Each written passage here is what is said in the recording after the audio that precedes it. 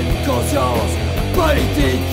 À l'époque j'étais étudiant, ça on peut dire, c'était le montant.